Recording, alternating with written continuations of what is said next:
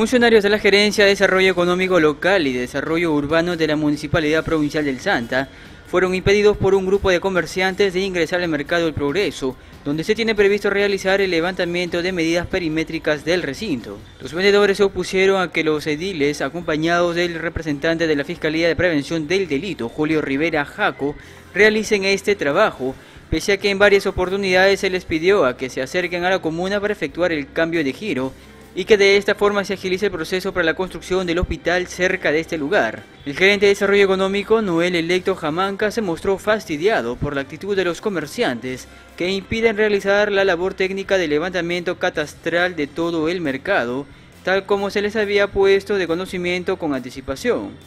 Bueno, en primera medida nosotros hemos conversado con, los comerciantes para que intervenga eh, el área de desarrollo urbano para hacer el levantamiento catastral de ese mercado.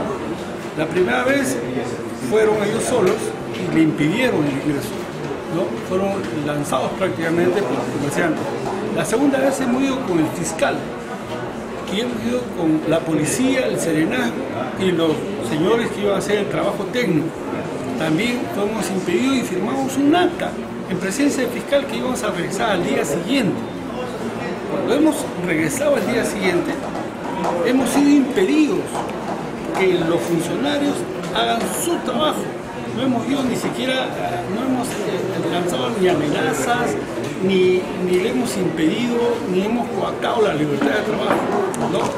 Lamentablemente creo que hay algo negativo de parte de los comerciantes que no quieren prácticamente acatar ¿no? el principio de autoridad.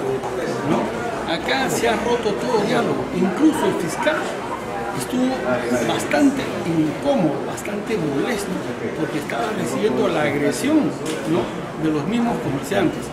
En esa misma línea, la regidora y presidenta de la Comisión de Comercialización, Jackie González Bravo, ha manifestado que lo único que queda es continuar con este trabajo y se considere como prioridad el tema de salud de la población. Es muy lamentable este, las decisiones que se han, se han este, tomado obligadamente debido a todo lo que se ha suscitado pero nosotros teníamos un cuadro muy diferente planificado, pero a medida de todas estas acciones que un grupo de comerciantes ya nosotros tenemos que ejecutar.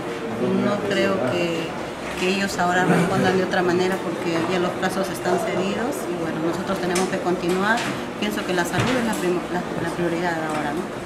Al finalizar la diligencia que se realizó la tarde del jueves, el fiscal levantó un acta y advirtió que pedirá a las áreas respectivas de la comuna, entre ellas Defensa Civil, que intervengan de acuerdo a sus atribuciones y competencias. Vale precisar que el Programa Nacional de Intervenciones en Salud tiene previsto construir el nosocomio con una inversión de casi 50 millones de soles a un costado de este centro de abastos. Sin embargo, ha solicitado que se efectúe el cambio de giro debido a que cerca de un hospital no pueden vender productos húmedos.